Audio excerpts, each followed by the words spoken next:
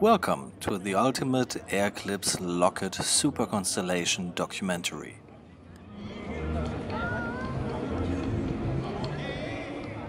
The Breitling Super Constellation was delivered to the Swiss Super Constellation Flyers Association in the year 2004.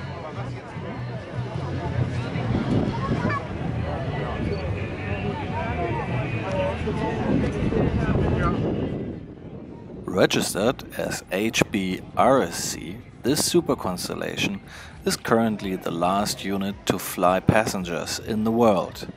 However, passengers have to be members of the Super Constellation Flyers Association in order to get one of the only 40 seats on board.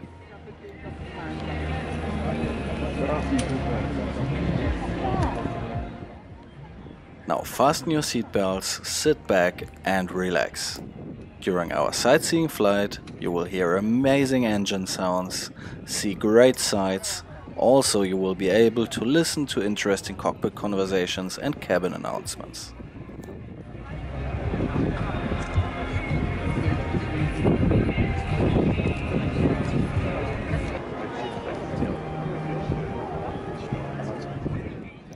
Before we can get started, it's time for check-in.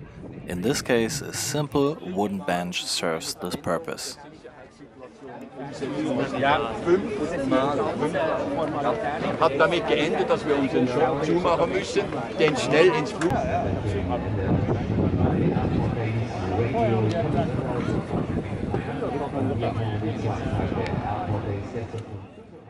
During the morning, the super constellation was on static display and accessible to the public. Therefore, before taking off to its 75 minute sightseeing flight, it needs to be pushed back for a thorough security check.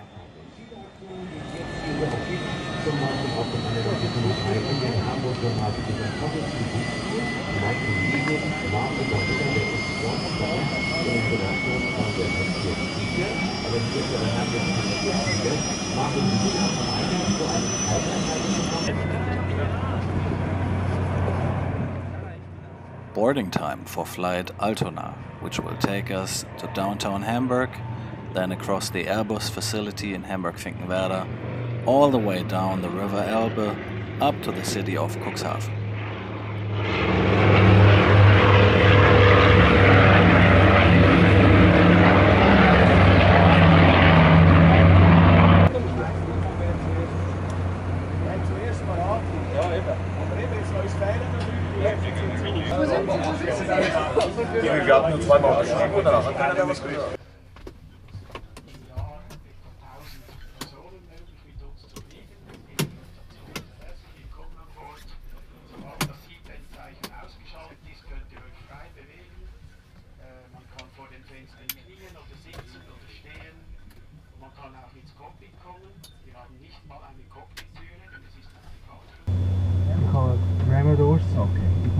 Pio.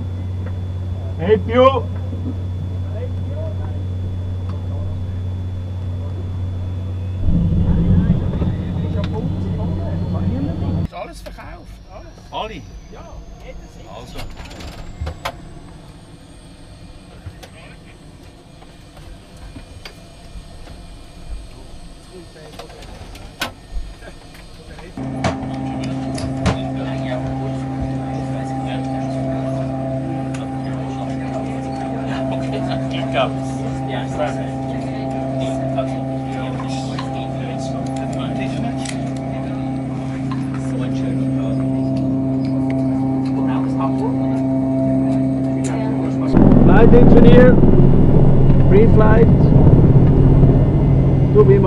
Mit dem, gell? Nein. Das musst nicht du machen, entweder macht er es inzwischen. Also. Pre-Flight. Gut, ja. Heat door covers and gear pins. will be on board Flight log and fuel slip. or on board, yeah. Circuit breakers and switches. Set.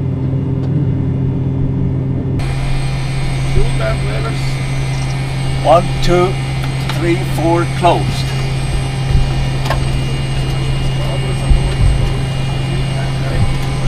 Ashes.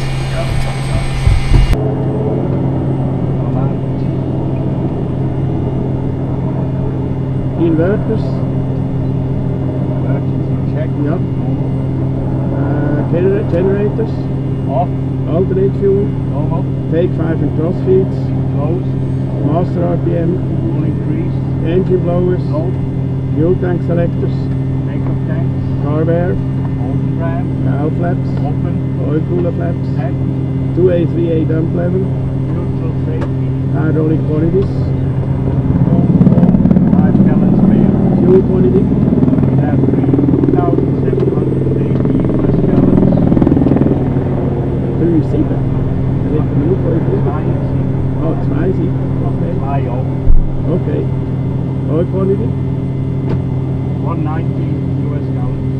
cross weight and CG, 100,000. 100 and uh, CG24 make it 101,000. One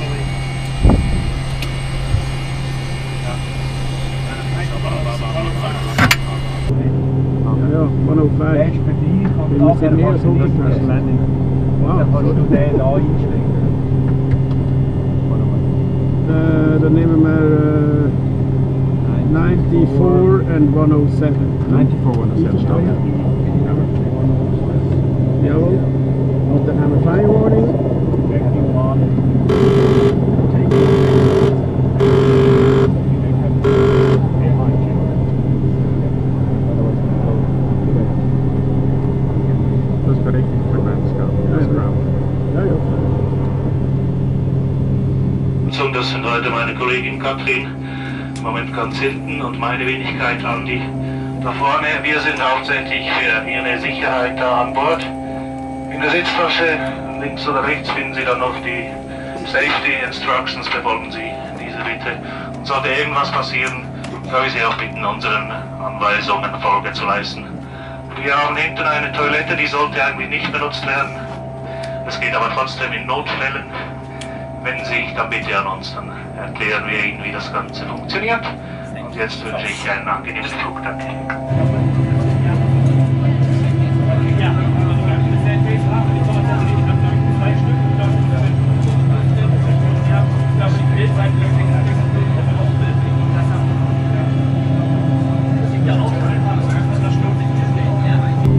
Ground Hotel Bravo Romeo Sierra Charlie, Super Coney, ready for engine start for runway 05. Mario, Unter. Ja, genau, wir müssen noch länger warten. Also, die wollen warten, bis der Super Puma reinkommt und äh, ebenfalls der Noraplatz. Also, so lange müssen wir da warten. Okay, Mario, jetzt können wir starten. Wie sieht's aus? Okay, starting.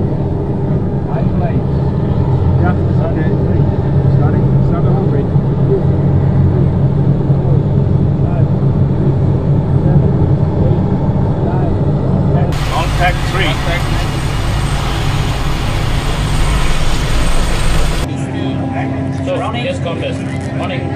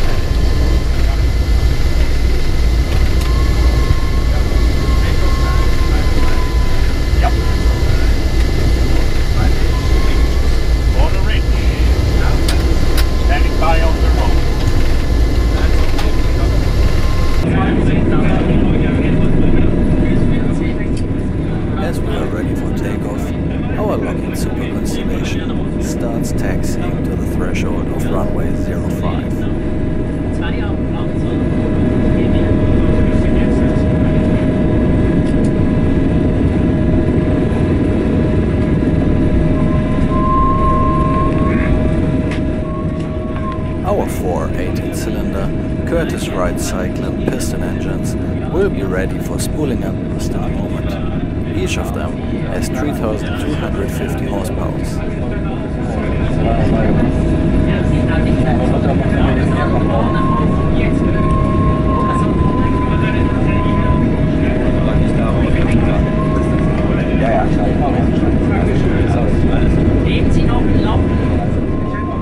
At its maximum takeoff weight of almost 50 tons, the Lockheed Super Constellation would only require a runway length of 1.4 kilometers. However, runway 05 of Hamburg Airport has 3.2 kilometers length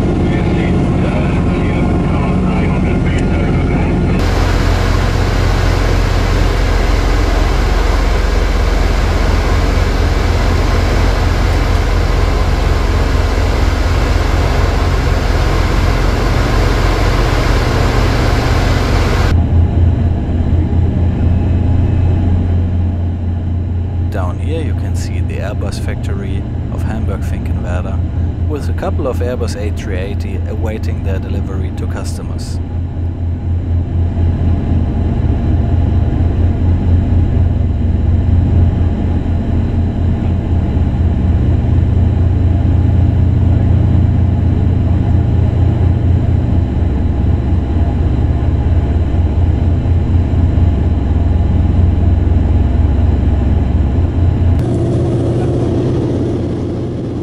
We have left the city of Hamburg behind us and keep traveling westbound on our altitude of 300 meters and with a speed of not more than 350 kilometers per hour.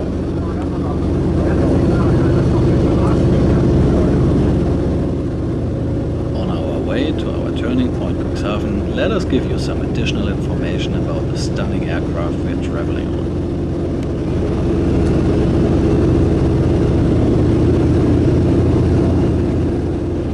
In 1955, our aircraft was delivered to the United States Navy. Designated as a military C-121C, the aircraft served as a cargo and medical evacuation airplane until 1972 when it was retired from military service. Afterwards, in her civil life, our super constellation had several changing owners. Until finally, in the year 1991, it was purchased by the Constellation Historical Society, which brought her up in the air again.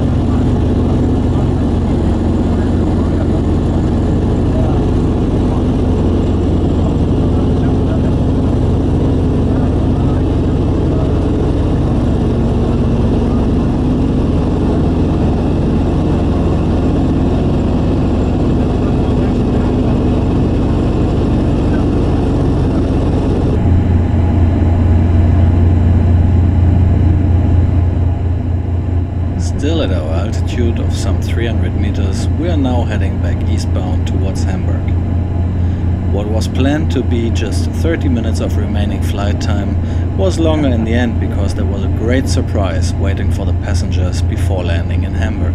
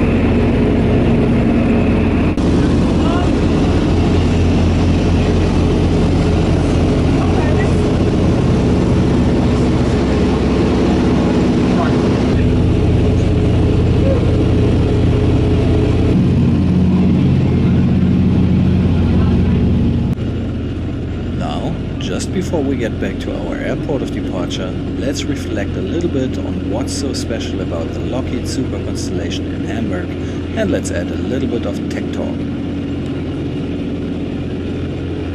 After the Second World War, the new Lufthansa selected Hamburg to be the main operational base. In 1955, a fleet of Lockheed Super Constellation was based in the city.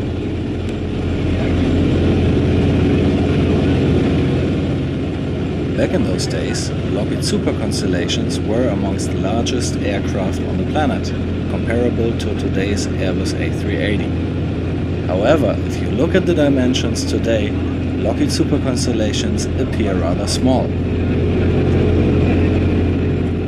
This particular airplane, with its long radar nose, has a length of 35.4 meters and a wingspan of 37.4 meters. This equals, for example, the dimensions of an Embraer regional jet. With the generous help of the sponsors of the Super Constellation Flyers Association, the airplane is constantly upgraded and overhauled. Recently, the airplane has been freed from corrosion, cockpit system have been upgraded, and additional checks have been conducted to ensure that the Super Constellation will stay airworthy for a long time in future.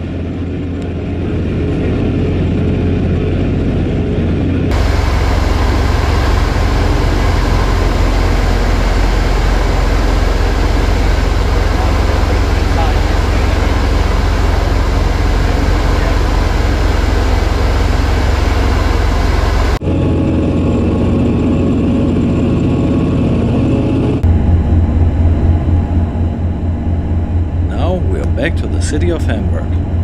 Just before we overfly the Airbus facility in Finkenwerder again, we make a left turn straight into runway 05 of Hamburg Airport.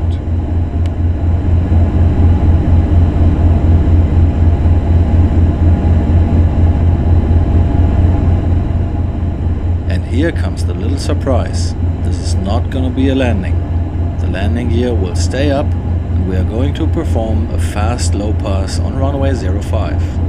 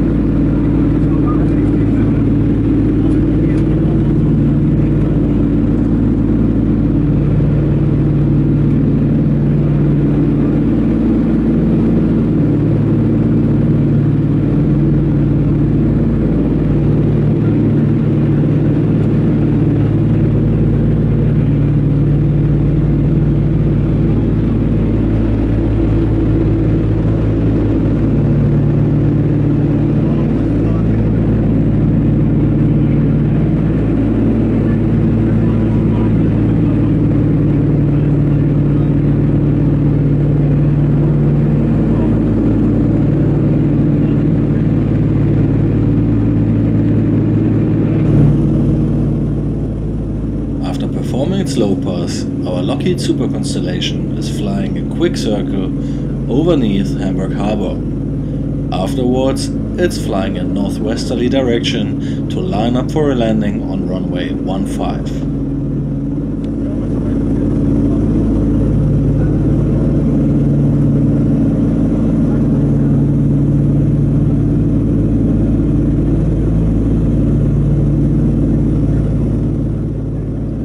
Amazing Flight Hour is slowly coming to its end. This was one of only 60 flight hours conducted by this aircraft every year. An amazing amount of 10,000 man hours of maintenance work are required in the same time for keeping this aircraft in the air.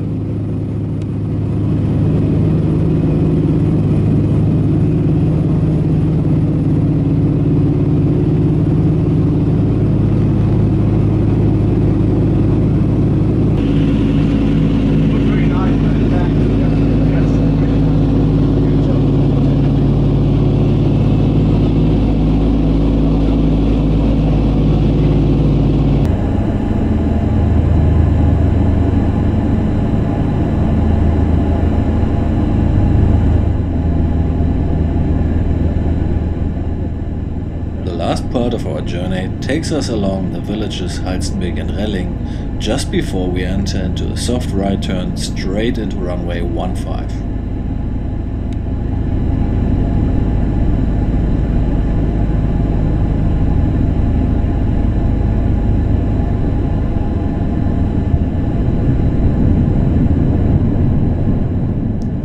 After landing, please make sure to stay on board for some interesting words and explanations of the Super Connie Flyers Association Director of Flight Operations.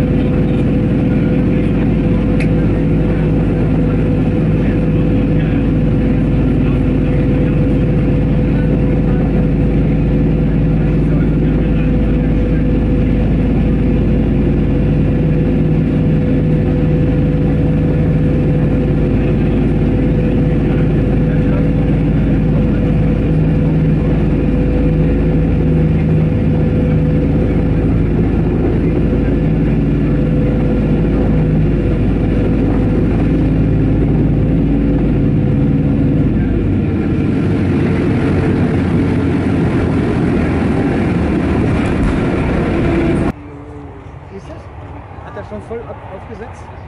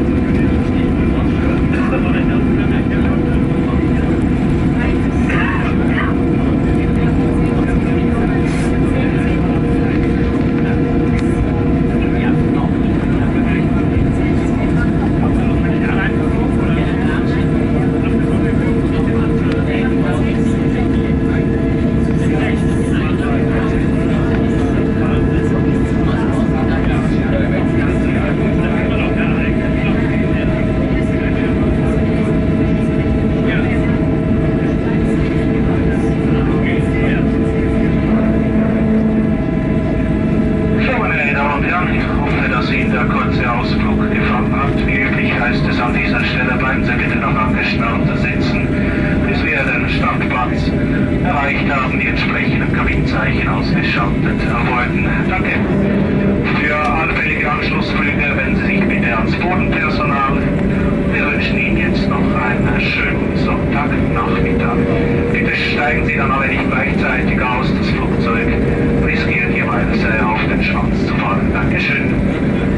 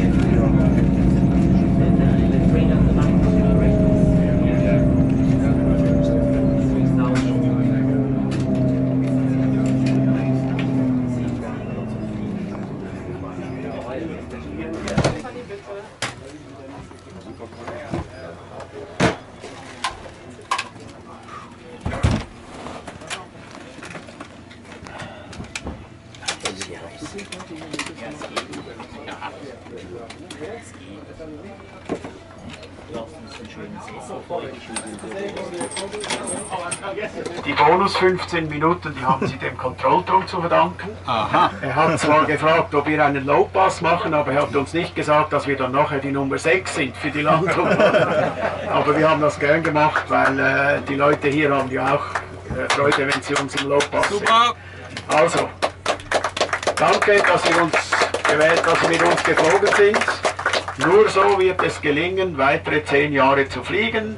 Wenn möglichst viele Mitglieder möglichst viele Flüge mit uns machen und das wäre eigentlich unser Ziel noch weitere zehn Jahre. hä? Okay, danke und kommt gut nach Hause.